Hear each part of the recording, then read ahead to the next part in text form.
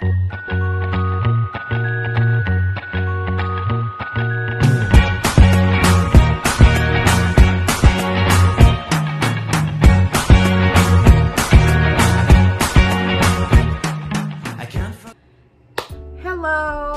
it's me again, Raquel. Welcome again to our vlog. Ganern, ganern.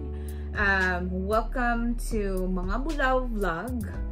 And for today's um, topic or vlog would be unsaon nato pagkuha unsaon nato or unsaon nako pag-process sa ako ang tourist visa padulong sa Amerika.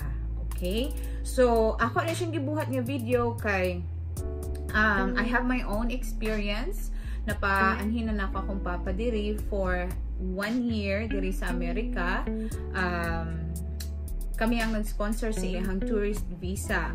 Pero, giun siya ni Papa pagkuha or mas dali ba ang iyang pag-process sa iyang papers or mas lisod ba? So, mauna siya mga pangutana, duha lang sa kapangutana nga, akong tubagon karon char, professional. og naapay mga uh, pangutana nga matubag gihapon. Uh, na mga pangutana nga matubag gihapon unya. So, but anyway, magsugod sa ta aning number one step. So, ilaha din ning giusab. Akong kuha ang akong reference sa kuan ha sa clock team. So, K-L-O-O-K-T-E-A-M. Kuha din ako siyang reference sa clock team kay so far kani ang pinaka-updated nga information about uh, getting a tourist visa sa United States. So, anyway, rewind sa tagamay um, gipaanhin ako si Papa diri uh, 2017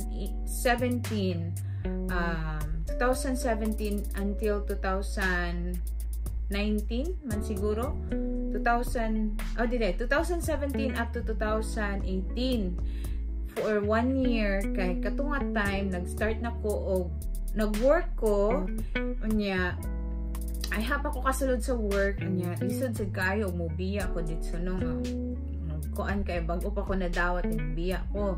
So nanganak ko kay Luke sa akong second son December of 2017. So niabot sa si Papa diri mga 2 weeks after ko nanganak. So si Papa murag nagpatabang ko sa iyaha. So part lang pud to siya sa iyahang pag-anhi diri sa Amerika. So anyway, magsugod na ta sa step 1. So updated information kinahanglan nga mag-register ka sa US Department of State's Bureau of Consular Affairs visa website.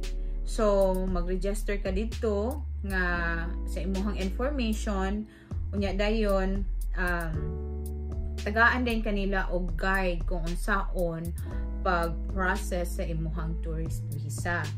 So, just so you know, basta ang tourist visa sa paadto sa US it's either B1 or B2. So, pag maingon gani ka og tourist visa, mauni sila ang mga aplikante nga kuan kanang na ay mga relatives sa Amerika, uh, na apoy medical treatment, na mga conferences, or na ay mga uh, cultural or sports events. O isa na po dito ang kanang pleasure, kanang maglaag-laag, kanang besh.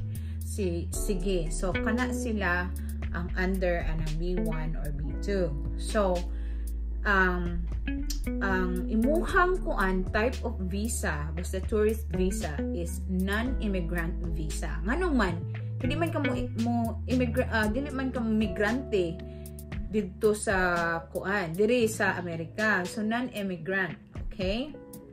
And then after humana ka sa imuhang registration sa ilahang website o imuhan ng uh, nahatag sa ilahang website imong mga information o unsa nga type nga visa imuhang gakwaon mauna din ang time nga magkuha ka or i-download nimo sa ilahang website ang DS so DS dash 160 so DS 160 form.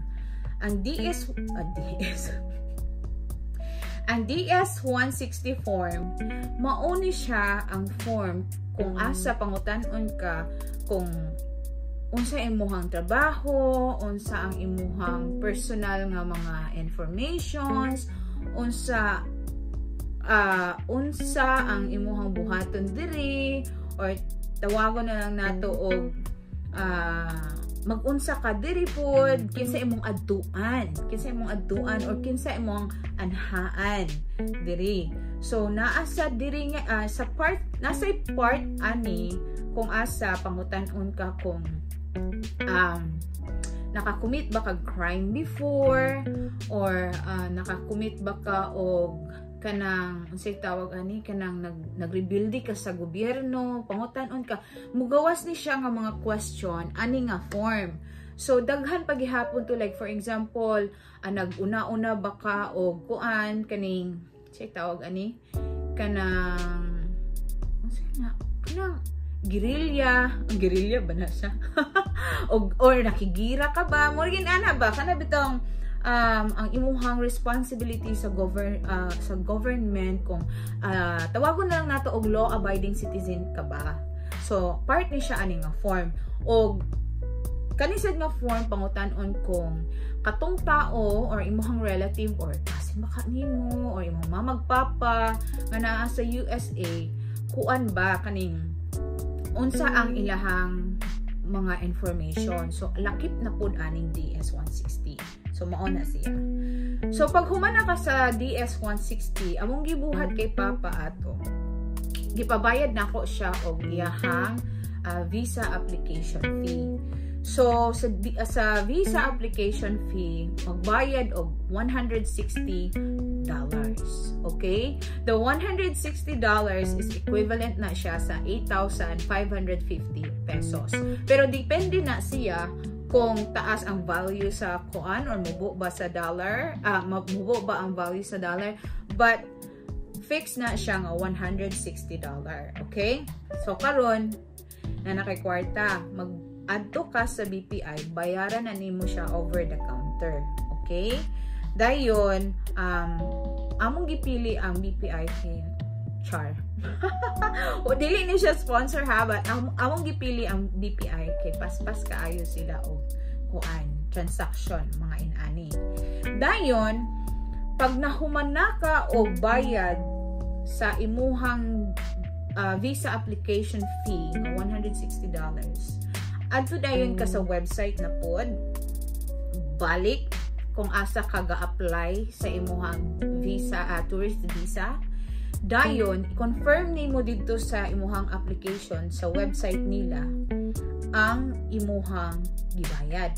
Nasabtan ba ninyo? Mm. basta kay i-confirm nimo kay katong kuan BPI nga resibo na aman to siya confirmation number Okay, tagaan kag confirmation number ato sa over the counter. Dayon, mo na mo balik ka dito sa website kung asa ka ga-apply sa imuhang kuan uh, online application form. Dayon i-confirm nga nakabayad na ka. So once nakabayad na ka, adto na dayon ka sa gitawag nato nga uh, appointment date. So ang giha, ang gibuhat nako sa appointment date ni Papa kuan gitagaan na ako siya og gamay nga window. Dili kay karon ka mag magbayad para sa mga visa application fee the next week or the, the next three days kuan na dayon ka kanang kuha na dayon ka date. But to be honest that is possible. Pero wala na ako gibuhat yung ano kuan kaayo ka na kanang naanay edad si papa. So para dili para dili ra kayo siya ma-pressure pressure.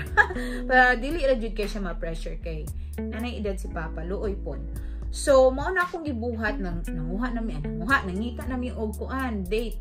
Pagkakita na mo sa date nga mao na ni siya ang kuan sakto nga date nya taas-taas pod nga window para maka-prepare si Papa. Um, amo na din siyang gibook. So gibook to na mo ang date nga among napili gamit ang confirmation number gikan sa akong gibayaran dito sa BPI. Katong resibo nga gihatag sa ako sa BPI. So nakakuha na lugar ko og date. Ako na din tong gi-confirm sa ilahang website nga mao ni ang akong nabayad, mao ni ang confirmation number, gi-confirm na ko ang date. So next ning mga buhaton um, dili ka pa atat-atat og adto dito sa imuhang interview without having or preparing your documents. Kay kinahanglan jud nga na ay documents, no? Imong dala kay mao na ang imuhang kuan kung baga bala sa giyera. Anyway, number one, dapat na kay passport. Uh, isa lang ka tip kung imuhang ginikanan uh, ah, 60 to niabot na og 60 senior citizen uh, pataas, dili na na sila maglinya-linya sa consular affairs, okay? Pwede na na sila mudretsu. Uh, bayad kaya. Pwede na na sila mudretsu para magkuha og ilahang passport. Mag-process sila, okay? Same kay Papa. And then, number one, kung naay current current and previous passports, kinahanglan nga imo na siyang dalon. Si Papa, wa man siya iyahang daan nga passport uh, mao man to yung first nga passport gigamit. So, okay ra siya. So, dapat na ang DS-160 confirmation page. So, back to sa akong gistorya kaganiha, ang DS-160 confirmation page, kinahanglan nga, katong DS-160 form, imo jud tong humanon. Ayaw og hawa, hanto dili nimo siya mahuman og fill up. Kay by the end of the kuan sa katunga form, kinahanglan to nimo i-print ang DS-160 form confirmation. Kay di man gud na nimo makita ang website man good kinahanglan nga i-click nimo ang next next next next. Ay ha ka makaabot dito sa confirmation page. So kinahanglan nga i-fill up nimo siya tanan. Dayon na kay deposit receipt katong sa imuhang gibayaran og imuhang appointment confirmation. So once nga mag magkuha na ka og interview date So, okay na, okay, okay na nimo tanan. Ang website nila, tagaan kanila og appointment confirmation. It's either sa akong pagkakuan, nadumduman, dito na nila ipadala sa imuhang Gmail, ang appointment confirmation. Okay? Dayon, imuha tong i-print para nakay-copy kung moadto ka sa uh, sa US Embassy. And then, kinahanglan nga naa kay soft copy of 2x2 uh, picture nimo. Okay? Kinahanglan nga kung anjid kay ang mo picture, kung kinahanglan perfect, ana, ang naong nimo perfect dayon. White ang background, okay? Dayan, um, kinahanglan nga kung wala kay uh, kinahanglan nga na kay soft copy but it is also important uh, it is also important na ready ka sa hard copy so kinahanglan nga na magpagbitbit na lang pagbitbit na lang og hard copy kay para safe ka. Dayon, um, para extra nga mga uh, documents kinahanglan na kay certificate of employment uh, kung mo anha ka diri sa Amerika nya mo balik ra ka dito sa kuan sa Pilipinas kay para makabalo ang mga tao nga ga-interview sa imuha nga mo balik ra ka dito sa Pilipinas dili ka mahimong illegal diri sa US so kinahanglan nga napud kay income tax return na kay bank certificate dayon sample itinerary, kung mabalik ba jud ka, di ba? kay kung ana sila kanang stricto sila kay dili sila gusto nga mo anhi ka diri mahimo kang illegal. Uh, illegal nga uh, kuan diri tao niya ma, ma kuan ka ba kanang unsay tawagan na ma, malisdan ka so kinahanglan nga ipakita na nimo sa ila dayon ang ako ang kuan uh, answer aning giingon nga bank certificate unsa di ka tinuod nga kinahanglan jud ay nga nakay dako kay nga kwarta or mag show money ka para makaanhi ka sa Amerika? To be honest yes. Okay? But to be honest no. Okay. So katong panahon nga among gisponsoran si Papa sa tourist visa niya wala mi kwarta, okay? Ang amo ang savings ato mga nasa $2,000 lang kay savings pero sa among kuan other than that wala na. So amo lang tong savings kay syempre mga gagmay ang mga bata kinahanglan nga na kay savings dili. Maura jud among kwarta. So gamay ra kay na siya ang kantidad ana og naa ka diri. So ang nahitabo, wa mi kwarta pero ako among gipadala ang among ang bank statement dito kay Papa. Kay just in case nga pangitaan si Papa o bank uh, statement na mo, kay kami lagi ang nag-sponsor, at least na siya maipakita. Pero to be honest, wala sulod among bangko. Pero, the thought ka nang mingon nga uh, show money, it's because ang reason behind it kay dili gusto ang mga ang mga kuan mga officer sa US Embassy nga kuan mo anhi ka dir mo anhi ka diri sa Amerika nga ang ending wa din kay makaon. Diba? Kaya may sulod imong bank account. Yeah mahimo ka nga burden sa kuan sa Amerika. Mahimo kang homeless diri. Then maunsa pa ang imong so syempre they will take responsibility dito pa lang sa interview nimo. Ba so mas maayo nga na kay kwarta pero dili jud ingon nga million million kwarta. Kanang enough lang okay? Nga makaulit ka nga makalaag-laag ka. So dayon. Di ba para na kay makaon na kay mainom ana. Char. Dayon so adto na ka sa ano sa US embassy so dito na din ta sa date adto na din ka kitang ta kuan ah uh, 17 larga na lugar ka anak pack abot na ka sa US Embassy. So, pwede ka mag-train. Pwede ka mag-train, pwede ka mag-taxi, pwede ka mag-pedicab, pwede ka mag-jeep. Pero, dito sa kuan, dito, mauni ang US Embassy, taxi rin mo agi dito o bus. Pero dili na sila makasulod dito straight sa US Embassy, okay? Di kanila ipa, dili pwede mo hunong dito. Tapat jud sa US Embassy. Kinahanglan nga layo-layo ang mga kuan mga sakyanan layo-layo ra na sila kanila ipanaon. Ug ikaw ang ending mag-backlight ka. So mao na siya mahitabo. Anyway so naana ang date. Ang akong nabalan based sa akong experience hapon o sa story sa ako sa akong papa there are three windows okay? Sa first window imuhang biometric imuhang mga chiding chiding chiding ilahan ng i-con scan. Dayon sa second window, syempre maglinya ka no, pero naay mga tao dito kung kung asa igay kanila kung unsa nga window dapat kumadto. So, dayon uh, next is So, first window man to. Ang second window is katong imuhang mga documents. So, tanawon sa, sa isa ka uh, Filipino officer, tanawon niya, chuchubahin niya ang, chuchubahin, kung ano niya ang mga kuan papers, tanawon niya kung sakto ba, na abay kinahanglan nga uh, i-add, kung kulangan ba imuhang papers, so ilan ang i-check. Okay? So, dito na din nga time pangutan-on ka nga. Uy kinsa di mo uh, dili pa di pangutan-on kung pangutan-on ka kung uh, like for example mauban imong birth uh, asa imong birth certificate? Pack percent. Aha imong kuan. Imuha ang bank statement? Pack percent ana. So para kabalo ka nga kato ang imuhang papilis so tan-aw nila kung kabalo ba ka kung imuha ba tong papilis so in ana So, next, fast for forward, dito na kasi interview, pak, kulba-kulba na may heart.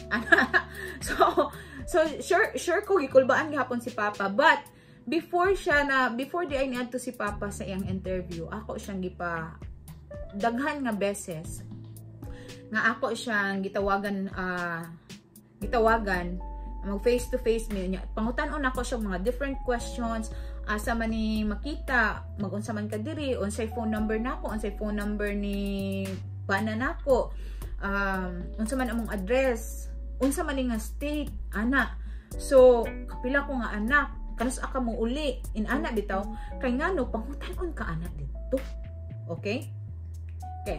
So, next is, di ba, fast forward na po ta. So, sa final window, sa third um, window, dito na ang final interview. So, sa final interview, dili jud tanan lucky. Naiuban nga mga bagsak jud sila no matter katsada ang ilahang documents o no matter katsada ang ilahang mga tubag. Mubagsak jud sila. I don't know why. But, istorya ta na. Okay, so si Papa gid pangutana lang siya tulo ka questions na pod. Una, unsa iyang pangalan, then asa siya nagpuyo, pila iyang edad, dayon ang pang, pangduha nga kuan question asa siya padulong? Magunsa siya didto? O kanusa siya muuli? Ang pangtulo nga question is kinsa ang iyahang anak nga naa diri sa Amerika? Syempre ako to. Dayon kinsa pa ang iyahang i-visit? So syempre ako mga apo. Uh, iyahang mga iyahang mga apo di ba? Ako mga anak So, katura yung question niya, si Papa, senior citizen man siya, there is almost 95% of the senior citizen nga gapa gapa interview sa US embassy nga mopasar jud sila. Mopasar jud sila. Labi na og parents okay? Unya dayon mao na to. Pagkahuman pasar si papa. Oh di ba? Pak pak so wala may uh, uh, ambot lang kung bawal ba ang cellphone murag ba oh yes bawal man yes bawal ang cellphone my goodness dili pwede ang cellphone sa sulod sa US Embassy. Pati tanan nga mga metal o mga ek-ek nimo sa imong bag, bawal. Why, why metal? Bisag USB, di pwede. Basta bawal lang, bawal ang tanan. Okay? Why cellphone kung maadto ka? Unya, muna din to, ni pasar si Papa, so koba-koba, my heart, kami tanan. Pero, pag gawas niya, nakauli na siya dito, ilang kuya yun yun. Kaya dito man siya gipatulog, uh, ilang kuya yun yun. Thank you, day kuya yun, anatihan dayon nag-ingon siya nga nanawag siya nako nga ni pasar siya so okay kaayo ang iyang experience wa man sad siya gilusod-lusod pero it's just kuan lugar nga part sa iyang preparation niya ako sa siyang gi-prepare before siya nag-interview kay para sad nga di ba di siya bagsa but uh, 95% lagi sa mga senior citizen especially parents di na sila mo bagsak uh, mostly mo kuan din sila uh, makapasar. Dayon, um, isa lang sa ako ang tip, no? Kung gusto mo magpa-interview, you need to be confident and dress appropriately and be honest. Nganong confident ka? Meaning to say nga, confident ka sa imong self, confident ka nga kaya nimo mo travel ka, confident ka nga imuhang information is true, wala kay gi lamlamlaman nga wala kay gikuan ba gi doctor doctor nga information dayon kinahanglan nga kuan kaning mag address ka appropriately so si papa giignan ako siya nga pa if ever nga makakuha ka uh, makaadto ka sa imong interview kinahanglan nga mag kuan jud ka neat imuhang sanina kinahanglan kung nakay polo, polo white, ana. Mo to nga gipalitan sa siya ni mama, gipapalitan ako siya kay mama kung polo, something he can wear sa interview. 'Di ba? Kay para presentable siya niya. Di pa sapatos na ko siya og kanang pangsimbahay niya, ana, slacks, ana, kay para presentable jud siya. Um, I'm grateful ato nga experience kay kung wala sa dito siya na experience ni Papa, wa siya kabot diri sa Koan, Amerika. So, maulang to siya ang ako ang experience ug akong tips uh, mga tips sa inyo ha kung gusto mo magkuha og tourist visa. So, I'm also saying this sa tanan nga gakuha og tourist visa although dili mo as uh, senior citizen kung gusto din mo makuha og tourist visa, it is really possible. Okay? Posible jud kaayo siya as long as naa lang jud mo yung supporting documents o kung gatrabaho man galing mo karon nya mo adha mo sa US i-secure lang ninyo ang inyong certificate of employment nga giukihan mo sa company nga mo travel o nya na ay certain date nga mo kinahanglan mo mo balik kay kana siya ang evidence nga pwede ninyo ipakita sa officer nga dili mo mahimong illegal dire sa kuan sa Amerika. So, isa na siya sa mga points nga pwede magpapasar sa inyo.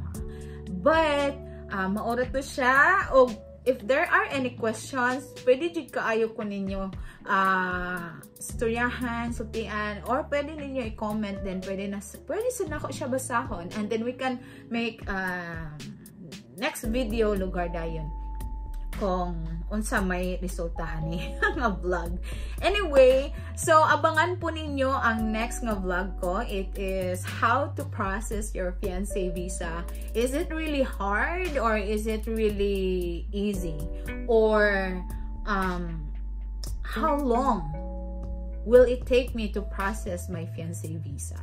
So, mauna siya. And, anyway, thank you so much sa inyong pag-anhi o pagpaminaw sa kuha.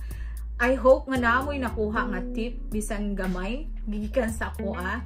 And, the last tip is that pray harder during sa interview kay kung para jud na sa imuha ang opportunity ihatag jud na sa Ginoo kanimo So, maura na siya. And again, it's me, Raquel. And thank you so much.